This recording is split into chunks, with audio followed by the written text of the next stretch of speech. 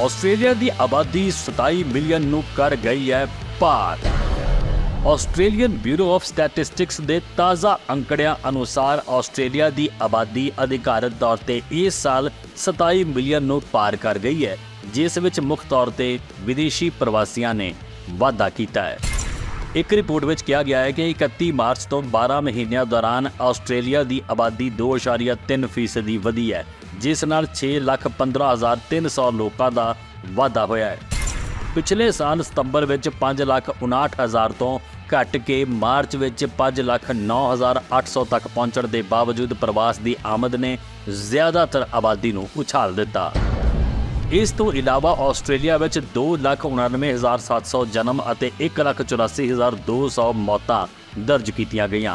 ਜਨਸੰਖਿਆ ਦੇ ABS ਮੁਖੀ ਬੇਦਾਰ ਚੋ ਨੇ ਕਿਹਾ ਕਿ ਆਸਟ੍ਰੇਲੀਆ ਦੀ ਆਬਾਦੀ ਹੁਣ 27.1 ਮਿਲੀਅਨ ਹੈ।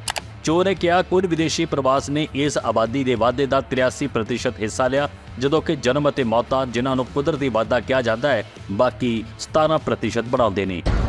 ABS ਨੇ ਕਿਹਾ ਕਿ ਸਭ ਤੋਂ ਤੇਜ਼ੀ ਨਾਲ ਸਾਲਾਨਾ ਆਬਾਦੀ ਵਿੱਚ ਵਾਧਾ ਦੇਖਣ ਵਾਲਾ ਰਾਜ WAC ਜਿਸ ਨੇ 3.1% ਦੀ ਸਾਲਾਨਾ ਔਸਤ ਵਾਧਾ ਦਰ ਦੇਖਿਆ।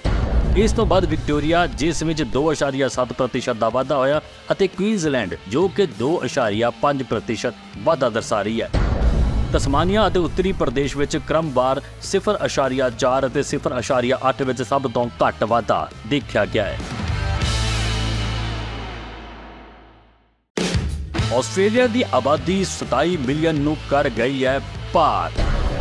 ਆਸਟ੍ਰੇਲੀਅਨ ਬਿਊਰੋ ਆਫ ਸਟੈਟਿਸਟਿਕਸ ਦੇ ਤਾਜ਼ਾ ਅੰਕੜਿਆਂ ਅਨੁਸਾਰ ਆਸਟ੍ਰੇਲੀਆ ਦੀ ਆਬਾਦੀ ਅਧਿਕਾਰਤ ਤੌਰ ਤੇ ਇਸ ਸਾਲ 27 ਮਿਲੀਅਨ ਨੂੰ ਪਾਰ ਕਰ ਗਈ ਹੈ ਜਿਸ ਵਿੱਚ ਮੁੱਖ ਤੌਰ ਤੇ ਵਿਦੇਸ਼ੀ ਪ੍ਰਵਾਸੀਆਂ ਨੇ ਵਾਧਾ ਕੀਤਾ ਹੈ। ਇੱਕ ਰਿਪੋਰਟ ਵਿੱਚ ਕਿਹਾ ਗਿਆ ਹੈ ਕਿ 31 ਮਾਰਚ ਤੋਂ 12 ਮਹੀਨਿਆਂ ਦੌਰਾਨ ਆਸਟ੍ਰੇਲੀਆ ਦੀ ਆਬਾਦੀ 2.3% ਵਧੀ ਹੈ ਜਿਸ ਨਾਲ 6,15,300 ਲੋਕਾਂ ਦਾ ਵਾਧਾ ਹੋਇਆ ਹੈ। ਪਿਛਲੇ ਸਾਲ ਸਤੰਬਰ ਵਿੱਚ 5,59,000 ਤੋਂ ਘਟ ਕੇ ਮਾਰਚ ਵਿੱਚ 5,09,800 ਤੱਕ ਪਹੁੰਚਣ ਦੇ ਬਾਵਜੂਦ ਪ੍ਰਵਾਸ ਦੀ ਆਮਦ ਨੇ ਜ਼ਿਆਦਾਤਰ ਆਬਾਦੀ ਨੂੰ ਉਛਾਲ ਦਿੱਤਾ। ਇਸ ਤੋਂ ਇਲਾਵਾ ਆਸਟ੍ਰੇਲੀਆ ਵਿੱਚ 2,99,700 ਜਨਮ ਅਤੇ 1,84,200 ਮੌਤਾਂ ਦਰਜ ਕੀਤੀਆਂ ਗਈਆਂ। ਜਨਸੰਖਿਆ ਦੇ ABS ਮੁਖੀ ਬੇਦਾਰ ਚੋ ਨੇ ਕਿਹਾ ਕਿ ਆਸਟ੍ਰੇਲੀਆ ਦੀ ਆਬਾਦੀ ਹੁਣ 27.1 ਮਿਲੀਅਨ ਹੈ। ਚੋ ਨੇ ਕਿਹਾ ਕੁੱਲ ਵਿਦੇਸ਼ੀ ਪ੍ਰਵਾਸ ਨੇ ਇਸ ਆਬਾਦੀ ਦੇ ਵਾਧੇ ਦਾ 83% ਹਿੱਸਾ ਲਿਆ, ਜਦੋਂ ਕਿ ਜਨਮ ਅਤੇ ਮੌਤਾਂ ਜਿਨ੍ਹਾਂ ਨੂੰ ਕੁਦਰਤੀ ਵਾਧਾ ਕਿਹਾ ਜਾਂਦਾ ਹੈ, ਬਾਕੀ 17% ਬਣਾਉਂਦੇ ਨੇ। ABS ਨੇ ਕਿਹਾ ਕਿ ਸਭ ਤੋਂ ਤੇਜ਼ੀ ਨਾਲ ਸਾਲਾਨਾ ਆਬਾਦੀ ਵਿੱਚ ਵਾਧਾ ਦੇਖਣ ਵਾਲਾ ਰਾਜ WAC ਜਿਸ ਨੇ 3.1% ਦੀ ਸਾਲਾਨਾ ਔਸਤ ਵਾਧਾ ਦਰ ਦੇਖਿਆ। ਇਸ ਤੋਂ ਬਾਅਦ ਵਿਕਟੋਰੀਆ, ਜਿਸ ਵਿੱਚ 2.7% ਦਾ ਵਾਧਾ ਹੋਇਆ ਅਤੇ ਕੁਈਨਜ਼ਲੈਂਡ ਜੋ ਕਿ 2.5% ਵਾਧਾ ਦਰਸਾ ਰਹੀ ਹੈ।